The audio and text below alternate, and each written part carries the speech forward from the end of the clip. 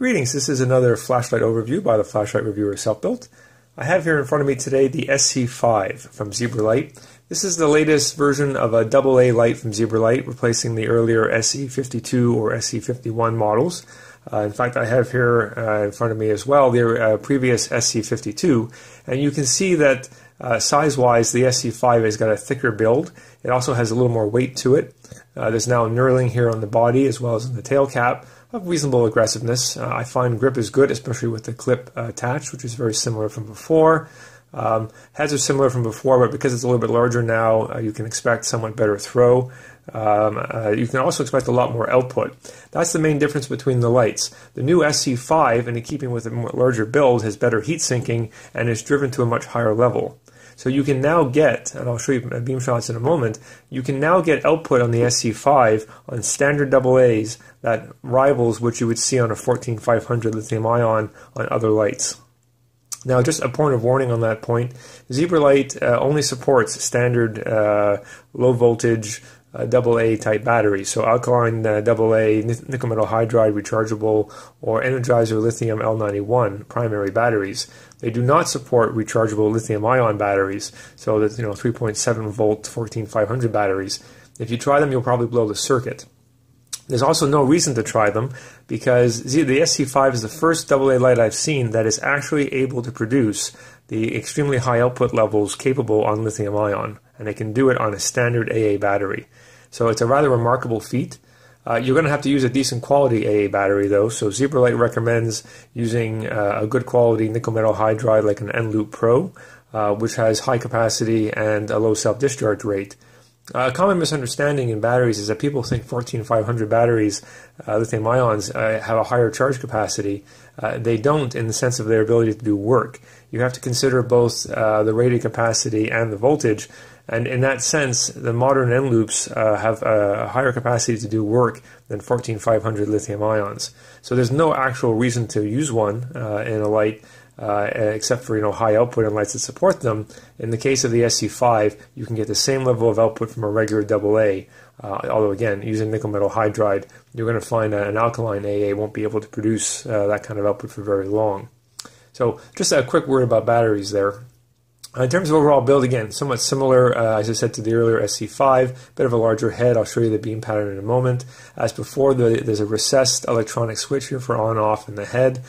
The tail uh, threads are anodized, so you can lock out the light at the tail cap. The tail cap uses, as you can see here, these little raised buttons instead of a spring. It's kind of a different design.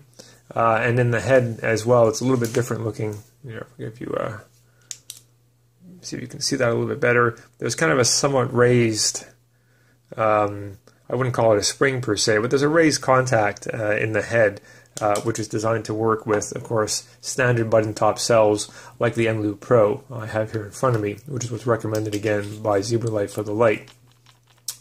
Uh, the interface is very similar uh, to other Zebra Light lights. Uh, as always, there's a few minor tweaks uh, as it goes along. So let me just sort of show you show you the main interface. At its simplest level, a zebra light is a three-level light uh, controlled by how you turn the light on. So if you do a quick click, the light comes on in max output. Click again, the light turns off. If you press and hold for a moment, the light comes on at the lowest level. And again, a click turns, to, turns it off. Double click from off turns you on to the medium level. So that's how you can access the three levels from off very quickly. You can also, now in these new models, press and hold, and it will actually ramp between the three output levels. That's another way to select it. So you can press and hold for a moment just to get low, or you can press and hold a little bit longer and then have it ramp through low, medium, and high and back to low and turn it off. So a very, very straightforward interface. Um, there are, of course, more modes than that to it. So on each level, so if we put it back on in high, if you double click, you switch to the secondary choice. If I double click again, I go back to the highest level. Double click, I go back to the second choice. So these are sort of like high 1 and high 2. It's the same if you turn it on in low. You can have your uh, low 1, double click, and you get the very low here, low 2, back to low 1. So you can switch back and forth between them when the light is on. There is memory for which one you chose, so if you turn the light back on, it comes back on in the last one. So if you left it in low 2, it comes back on in low 2. And same thing, you left it in, in low 1, same for medium and so forth. So as you can see, that gives you a little bit more option. You have it set as a low, medium, high, light, but you can switch between two choices for low, medium, and high. Now it actually gets even more complicated. What you set that second choice to in low, medium, or high has two to three options. So just to show you what those look like, I'll put it on at high. So if we switch back and forth, so there's the max level, high 1, bring it back to high 2, what you can do now is double click the switch six times and it'll ramp you through the choices you have for high 2. So now what you see it's doing is it's giving me three choices for how bright I want my high 2 to be. So let's say I pick the lowest one, I just turn off the light. Now when I turn it on in high, it's what it remembers. I can switch back to high 1, but the high 2 mode has been set to the lowest of the three modes. Now you'll, you'll see full numbers in my review and online to what the lumen levels are at each point, but it's nice that you have this degree of customization. As always, people complain that these zebra lights can be confusing. They're only confusing if you choose to program them. If you want to keep it as a simple three-stage light, again, it's a single click, a double click, or a press hold, and you get your three levels right from off. So it's not complex at all. It's only if you want to program these additional features, they're there if you like them. There's a few other things as well. If you triple click the switch from off, you get uh, a blinking mode. And once you're in this mode, you can double click to go to the other options. Oops, let's try that again. So I double click, I get a faster strobe mode. You know, you get a couple you know different options here. As you can see, two options: the strobe and the, the slower one. Anyway, so you have you have that option as well from off. There's also a battery readout feature. If you do four clicks from off, so on a scale of one to four, it reads out the uh, the battery power. So that was four flashes. So the battery is at near max capacity. So that's all that feature was. Again, very straightforward interface. In terms of the performance and how it compares, um, let me bring back out uh, the SC52, which was the previous uh, highest output AA light in my collection. And let me just bring it up. Oops. Yeah, so we'll bring it up to the max output.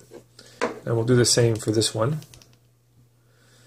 And we'll put it on my desk, and you'll see, get that out of the way, the SC5 on the right is clearly brighter than uh. There we go. It's a little bit better than the SC52 on the left. There's definitely a lot more output coming from the same AA type cell.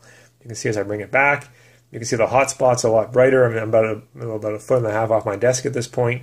Same thing. We keep going further and further back. There's clearly a lot more light coming out of the SC5 than there was under the SC52. Uh, at any any level you want to look at it, focusing on the spill being focusing on the hotspot, there's definitely a lot more light coming off. Now, this was the previous high output champ uh, for a AA battery.